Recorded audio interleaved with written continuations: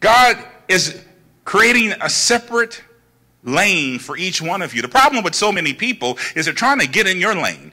And for some of us, we're trying to get in their lane. We're all out of position trying to be in other people's lanes. And God is saying, I created a lane just for you. Don't worry about what somebody else has, because what I have for you is for you, just like what I had for them. The big assignments often require some uniqueness about a person, and it will take you completely away from everybody else. So let's just look at John the Baptist, because many of y'all know John the Baptist, right? John, John the Baptist was the forerunner. And, you know, oftentimes we, we go through this passage of scripture in Mark 1 and we, we, we see the characteristics of John the Baptist. We see what he was eating. We see what he was wearing. And it also gives a description of where his location is. And we never take the time to understand just how significant it is that John the Baptist happens to be in this specific location and what's going to happen as a result. Some of you, God has told you to go somewhere where no one else is, but you're not willing to go because no one else is there. Trust me, if God wanted everybody to be there, he would have had them there. But he has an assignment just for you. Do you know who you are? So let's just read, because John the Baptist is the forerunner. He's the messenger that's, that's uh, paving the way for who? Jesus. So I'm reading from the Holman Christian Standard Bible, and it's written, as it is written in Isaiah the prophet Look, I'm sending my messenger ahead of you who will prepare your way. A voice of one crying out in the wilderness. First of all, a voice of one. That, that, that prophet didn't say it was going to be a voice of many. It was a voice of one. Who would be that unique person who would embrace the assignment that no one else is doing? Who would be the forerunner that's going to speak some things that you have not heard about? See, it takes a special kind of person to be able to take an assignment that no one has ever done or speak some things that no one has spoken about. And what you're seeing right now with John the Baptist is something amazing. He already is, is obedient. He's uh, going to take this assignment. So here's what happens. He's in the wilderness, a voice of one crying out in the wilderness. First of all, he's in the wilderness. Some of us wouldn't even go to the wilderness. I'm not going to the wilderness. Nobody else is there. How are they going to find me in the wilderness? I got to be seen. God is going to do some things with you in the wilderness, but if you only trust yourself, you won't go to the wilderness. That's why people are stuck right now. They're not able to accomplish those goals, those visions, and those dreams in their lives because they're unwilling to go to a place where nobody is in order for you to be a leader, in order for you to be the top of your game, you got to go to a place where nobody is going. You got to be okay with going at it alone. And if you if you're not comfortable with that, guess what? You'll be paralyzed right here. Right here. So let's see what John the Baptist does. Prepare the way for the Lord. Make his path straight. Y'all, that's a heavy assignment. The prophets have already talked about the Messiah coming. Someone's preparing a way for the Messiah. Don't you know it's a huge assignment? That's a huge assignment. The one that's going to prepare the way for the one. So I guess there's some folks who would say, well, if I'm going to be the one to prepare the way, I want to be seen preparing the way. And if I'm going to be seen, I ain't going to the wilderness. I want to go to the temple. I want to go to the top. I want people to know I'm the one God has called to prepare the way for the Messiah. That's how some of us are. God gives us a gift. God gives us an assignment. God gives us a talent. We want to be seen. We want to be over everybody. And God ain't going to use you because what he wants you to do is to go to that foreign place, that place of isolation. And first and foremost, the one thing you'll learn is that when God sends each one of us to a place of isolation, the wilderness, he wants to know, are you okay doing what he's told you to do with him in your presence and nobody around to be seen? See, that's when we get to a place of worshiping in spirit and in truth. When we're willing to do some things when there's no one else around. So let's see what John the Baptist is doing. John came baptizing in the wilderness and preaching a baptism of repentance for the forgiveness of sins. The whole Judean countryside and all of the people of Jerusalem were flocking to him. Wait a minute. Wait a minute. John the Baptist is in the middle of a wilderness. I thought I had to be at the temple. I thought I had to be at the top of something. I thought I had to be seen by everyone for them to know that God has called me, He's called you to do this special assignment. What we got to understand is that when God has told us to do something and he, tells, he tells us to go to a foreign place, a place where nobody else is, you don't worry about the people coming. God just wants to test your obedience. And when he can trust you, he'll send the people. Someone's got to hear this. Someone's got to hear this. There are some folks right now in their careers, whatever it might be, you know, I, I, even in ministry, because everything, everybody here is a minister. Even in ministry, I've, I've heard some folks say they called, and I wondered who called them.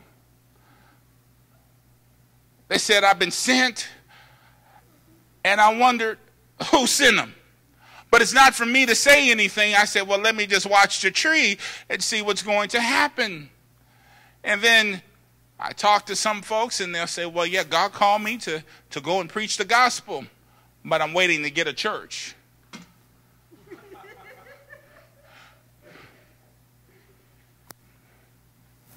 You're waiting to get a church. You don't even have understanding of the scripture that the temple is you. You're the church. You're waiting to get to church, so therefore you won't preach the gospel until you have a building to preach in. that lets me know that you're not one of the ones that's going to go to the wilderness and God told you to go to the wilderness prepare the way for something else. You, you, you, you want the you want center stage. You want to be you want to be up here. You want to be somewhere where everybody can see you so they can see you doing something. And if you don't see anybody seeing you, you're not going to do it. See, that's where we are as human beings. We're so, we're so caught up into who's seeing us do, we're unwilling to do when no one's watching. The authenticity of our walk is our ability to do things for God when no one else is watching and not even worrying about someone watching, just doing it as he tells you to do it. The reason we can learn from John the Baptist is because I guarantee you, on that journey to the wilderness, there was nobody following John. There was nobody following John. You probably wouldn't have followed John because John, eh, most of, why are you going into the wilderness, dude? Why are you going to the wilderness? If you have this important message, if you're preparing the way, certainly the Messiah is not going to come through the wilderness. That's human understanding. That's human understanding. And that's what many of us are in our lives is that we expect God to do something a certain kind of way on our terms. We want to control it. We want it to happen this way. This is how it's going to happen. And if I can't have it that way, hmm, I've seen people, you know, God is doing something in people's lives, but they want to control how something happens. Their whole lives have been about controlling something, controlling things, and when it doesn't happen the way they want it to happen, they're frustrated. They're confused. They're stressed out. It becomes a burden. I don't want this anymore. But what you got to do is you got to surrender to God and let God handle it. That's the problem with many of us is that we want to control every aspect of our journey.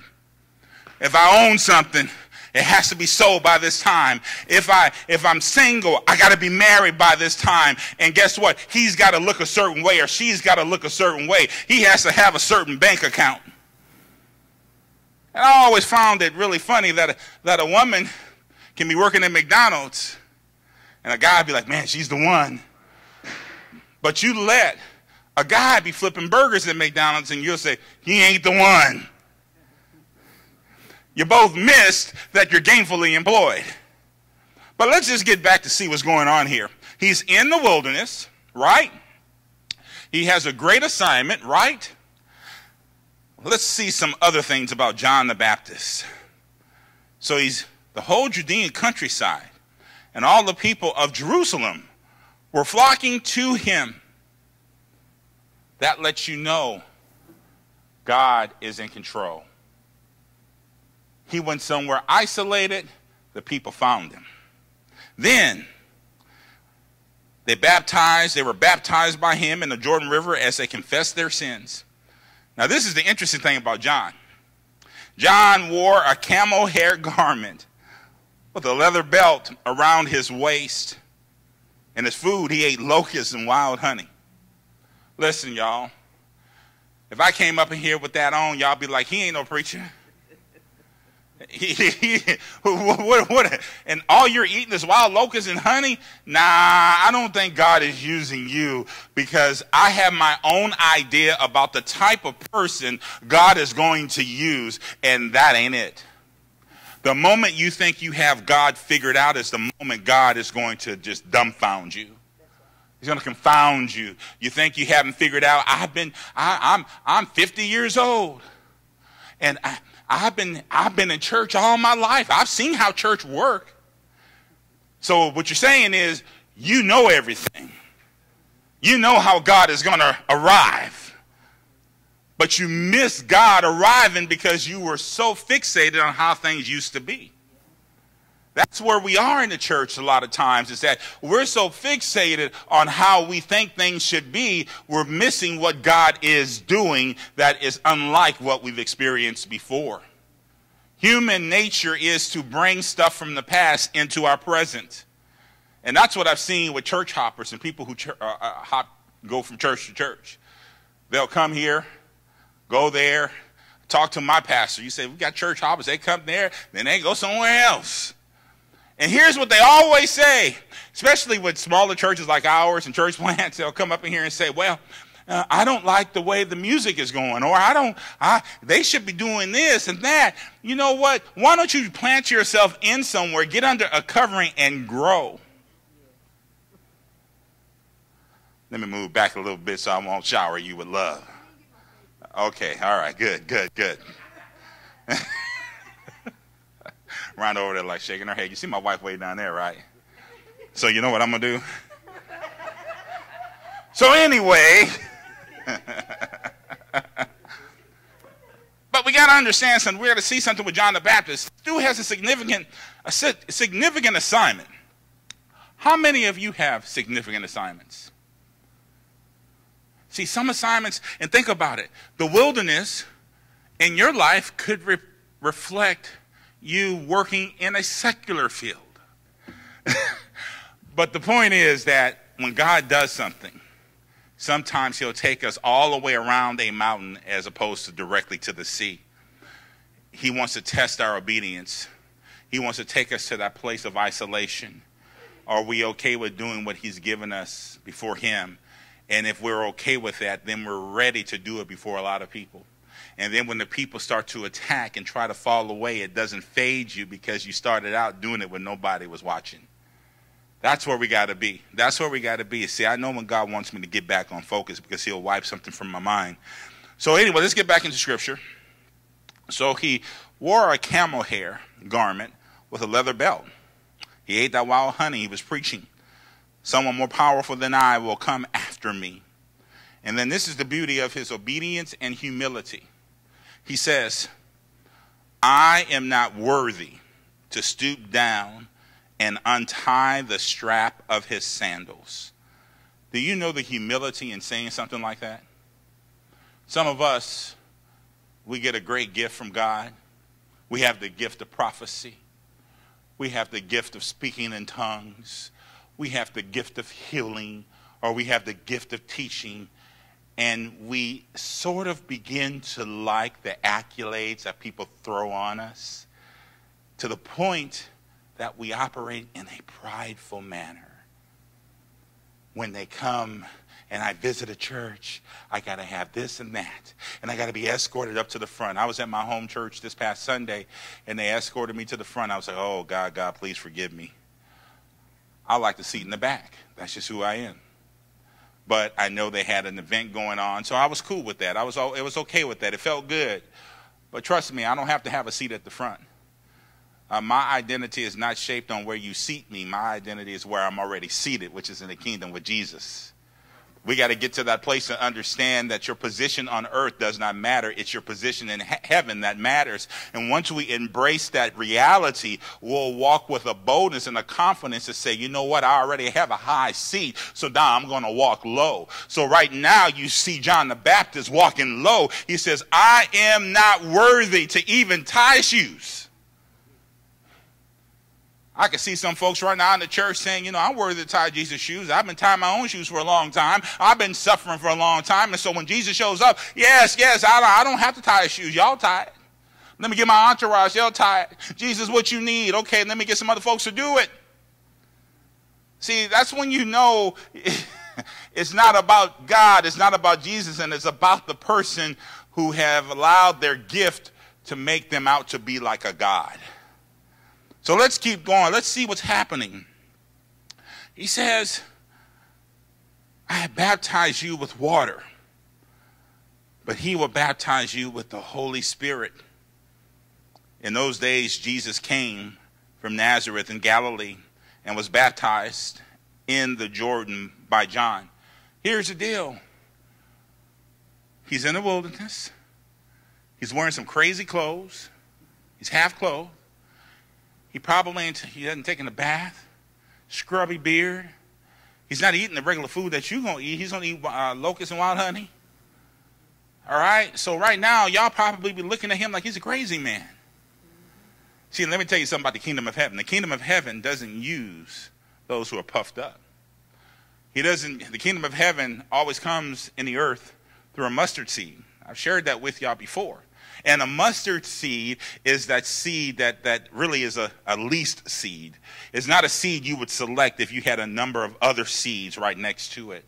But the Word of God says that that seed, when it's planted and grows, it becomes the biggest tree that provides the support and structure to handle the birds. That's a metaphor for supporting you, helping you, giving you that place of refuge providing you with food. When I think about everything God said, He says, I know what you need. I know you need clothes. I know you need food. I'm going to give you that. Just walk humbly, walk lowly, because you already have a high seat with me in the kingdom right now. You've been grafted in. You have a kingdom identity. So it don't matter what other people think about you. It don't matter what they say about you. They're going to talk about you because they talked about me. If you are following me, then guess what? You're going to be talked about. You're going to be persecuted. When you are persecuted by even those you thought had your back, you just smile. I got you. Yeah, I see you over there. God is so good that he'll even show you who's going to talk about you, who's going to not have your back before they even do something to hurt you. He gives you foreknowledge. God says, I got you covered. No weapons, no weapons, no weapons formed against you shall prosper. No weapons. How many of y'all believe that? No weapons. He never said that they wouldn't prosper, uh, form. He said they just wouldn't prosper. Some of us fall out when the weapons form. Oh, Jesus, I can't believe you. I, there's no God. God, you, you said in your word, you said that, that no weapon formed against me you shall prosper, and all of these things are forming against me, and I can't take it. I don't know if you're real. I don't know what I've done. You beat yourself down. That's what the devil wants you. He wants you to beat yourself down. Listen, they're forming, but they're not prospering. Somebody needs to receive this. Somebody needs to hear this right now. See, you can't have a testimony unless you go through something. The going through something is the thing that's forming. The overcoming it is when it didn't prosper. You don't have a testimony if there's no weapons formed. Oh God, hallelujah. So, so John the Baptist He accepted his assignment. He's unique. He's not a counterfeit. Some of us get a call and we want to be a replica of our pastors. Or we want to be a replica of someone who mentored us. God said, I only want them to mentor you so that you can know that you can do what I've called you to do. But I didn't want you to be just like them. I already have this person doing themselves. I'm calling you out to be unique. I have people for you. There's so many people right now so mad at other folks because they're, they're successful, they've been elevated, they're mad. I can't believe, can't believe it. Spending all this time mad at somebody else, you don't know what hell they went through to get what they got. And you're mad at their elevation, and you ain't moving in the concentration that God has put you in. You're so focused on the elevation, you've missed your destination. God is saying right now, somebody's got to hear this. Somebody's got to hear this. You got to hear this. You got to know that, that don't worry about what folks are doing around you. Don't worry if you don't have everything you need to do it. God says, everything you need to take the next step is right before you. Will you take the next step? Brothers and sisters, I know it's scary.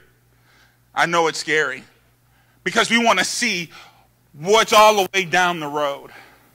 God, you didn't sent me to this wilderness like John the Baptist.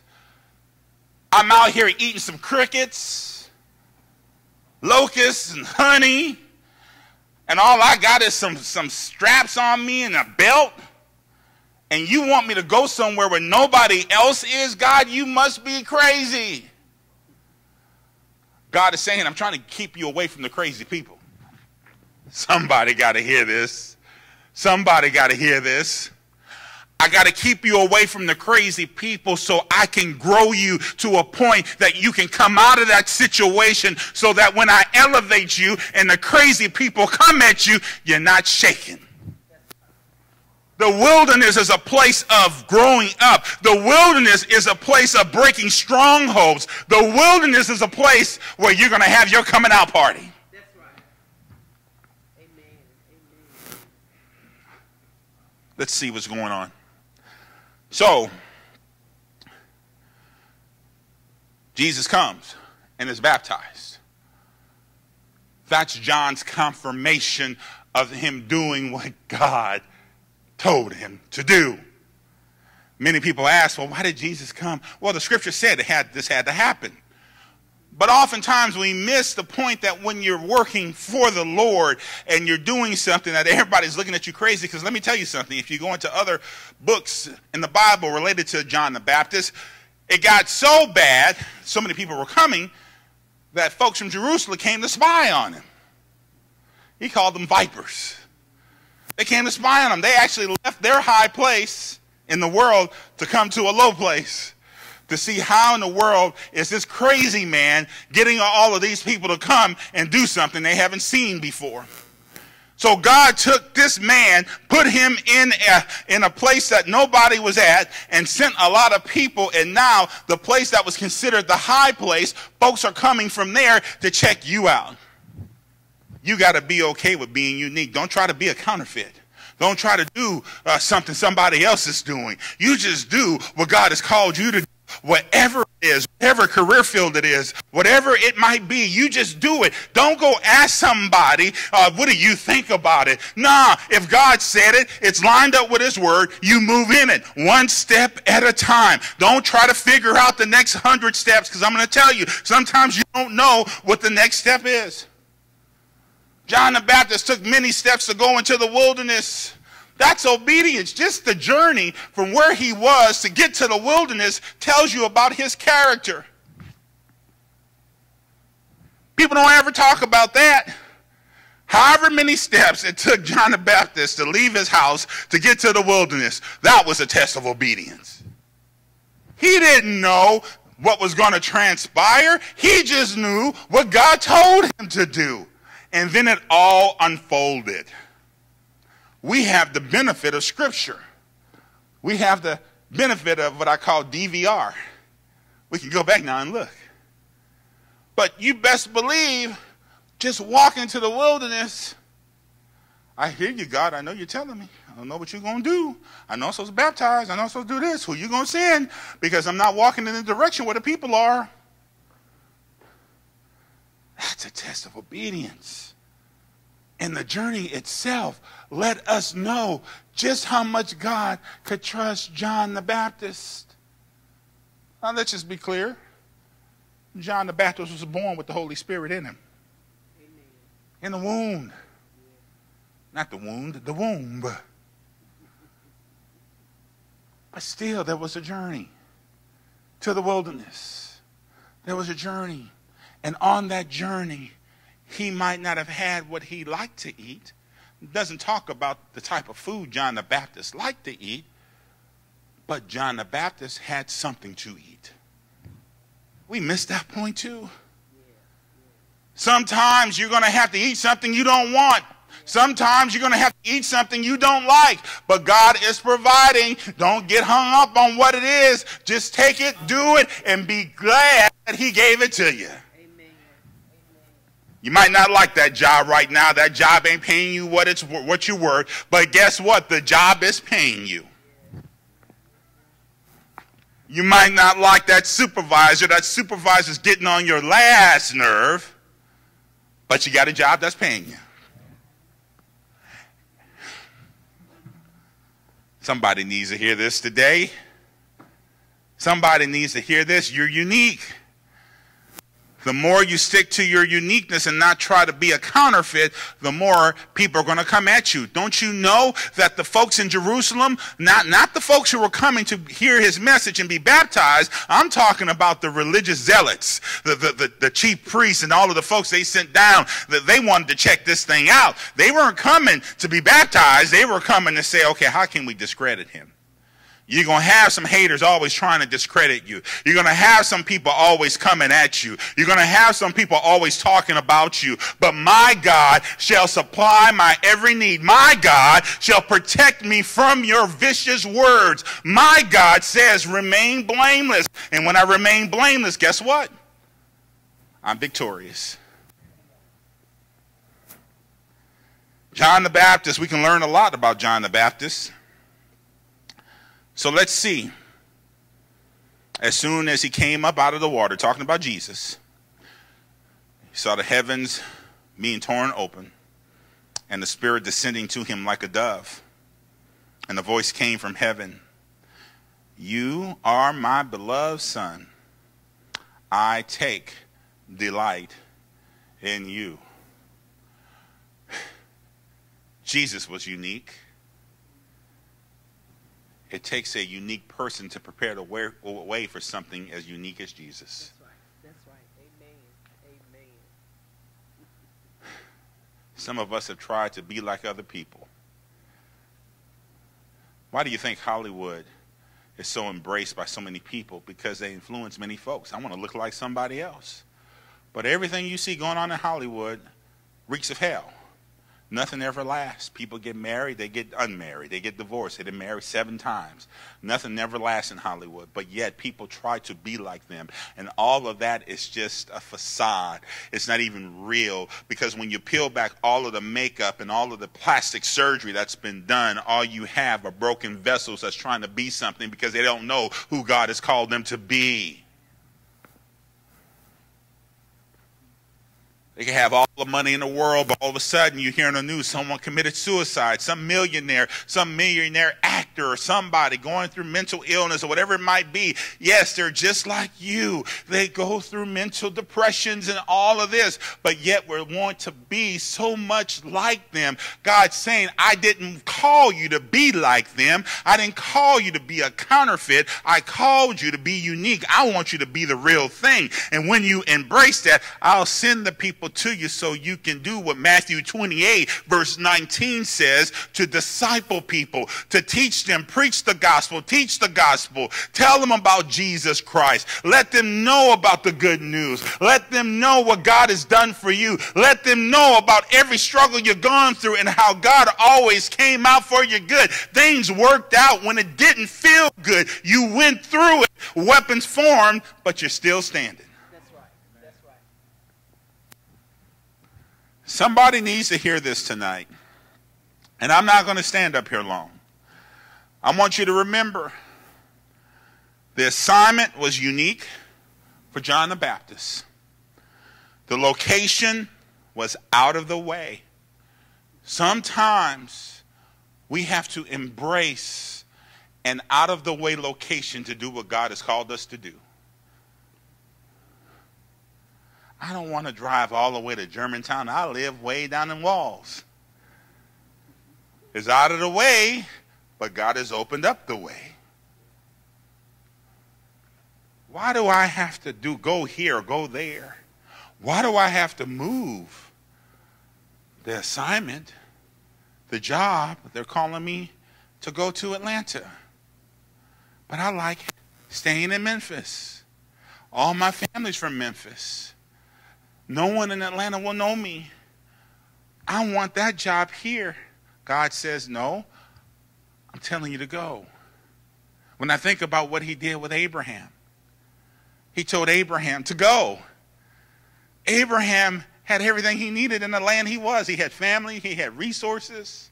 God said, Don't take none of that. Just go. He didn't even know where he was going to be a year down the road. He just heard the voice, he went, and God led. We got to get familiar with Proverbs 3, verses 5 and 6 to trust in the Lord with all our heart, leaning not on our own understanding, and in all our ways acknowledging Him. He will direct our path. It's not going to be easy at times. His way is easy, His burden is light. But the tug at our flesh to go in an opposite direction is what makes it hard to go in His direction. But the more we tune into the Spirit and stay there with our focus, the easier it'll be to shake it off.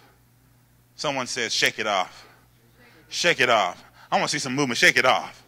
You got to shake it off. You got to shake it off. You got to shake it off. You got to shake it off. You got to keep on moving.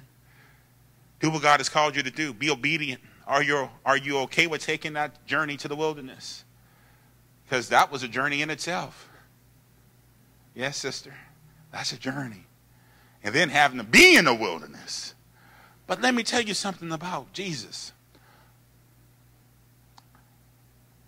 He wouldn't ask you to do something he's not willing to do. Because right after this moment, Jesus comes, he fulfills scripture, he's baptized. Guess where he goes next? To the wilderness for 40 days and 40 nights to be tempted by the devil. This is the last step before Jesus is thrusted into public ministry. And some of us have got to go through some struggles, some challenges before we can get thrusted into something public. Because if God allows us to go into something without preparation, we're going to fail. He wants to make sure you're prepared. You're conditioned to handle what he has for you. The word of God says, I have so many things for you. Words could not comprehend or even really describe what I have for you. So what you're going to have to do is trust me. So let me get you prepared because you think you know. You think you know where you're going. I know where I want to take you. You're not ready for it yet. You're not ready. You're not there yet, which means that I, it doesn't mean that I'm trying to hold it from you.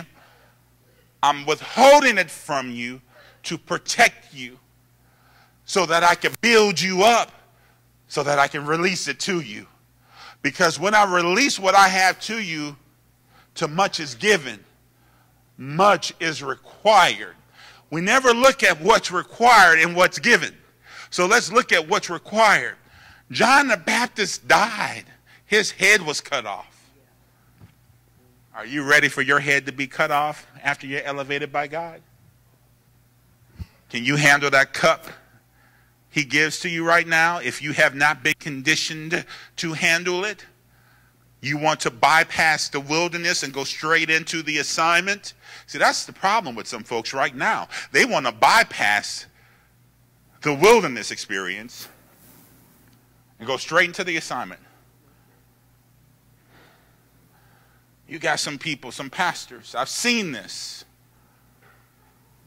take, took on pastoring, but never wanted to serve under another pastor. And when they served under a pastor, they were always chipping away at that pastor, backstabbing that pastor. Now, what do you think is going to happen if there's no repentance for that and they move and jump ahead and go and become a pastor? You reap what you sow. So I'm speaking from a pastoral time, but think about it in your own, wherever your own lane. Whatever field you're in, whatever career, you're backstabbing the supervisor. Yes, a supervisor can be a little stubborn, but let me tell you something. Until you walk in the shoes of the supervisor to know what the supervisor is going through, sit down. There's some things you have no idea of the person who's over you, what they have to go through. They're taking a lot of hits, and they're human. And sometimes that stuff spills over to you. But can you be humble? Can you be patient? Can you be kind in the midst of the pressure that's trickled down to you? Because if you can't handle the pressure of a supervisor who's human, you can't handle the position of leadership. Everybody want to be a leader, but nobody want to go through the fire. Everybody want more money, but then when they get more money, they don't have any more money. Because they can't handle the money they got. And for some reason, they think if they just had more, that things would change. Nothing changes until your mind is changed about how you see money.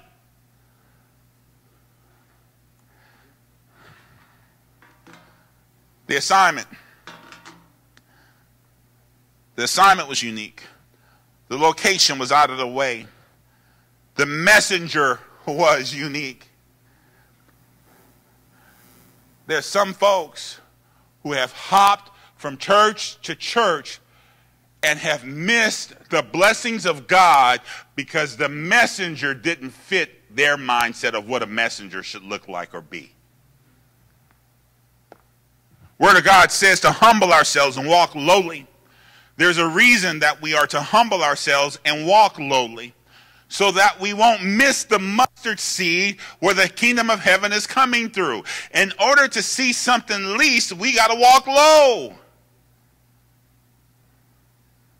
While there were many people who were baptized because of John the Baptist's obedience, there were many people who missed it because he didn't fit what Jerusalem said a prophet should look like. Somebody needs to hear that. Somebody needs to hear that. Brothers and sisters, final point.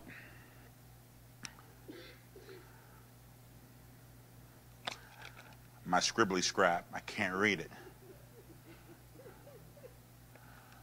When God is doing something through you, He'll build the audience. You don't worry about the audience. You don't worry about the audience. When you're doing it for Him, He'll build the audience. He'll build it. Amen.